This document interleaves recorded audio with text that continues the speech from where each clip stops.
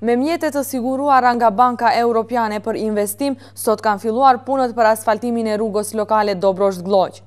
Kryetari i komunës së Tearcës Isen Asani tha se intervenime në këtë rrugë bëhen pas katër dekadash.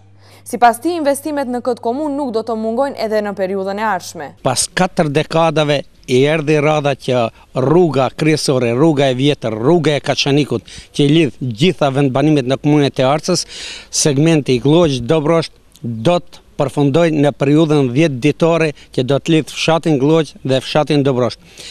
Mjetet janë të siguruara nga Banka Europiane për Zhvillim, ndërsa punët do t'i realizojë kompania Granit, kështu që Në vazhdimësi do të kemi edhe në pjesën tjetër të lagjes së epërme të fshatit Dobrosht prej ke rruga e Gurit të Madh, nga rruga kryesore Tetovë Jazhincë deri te xhamia.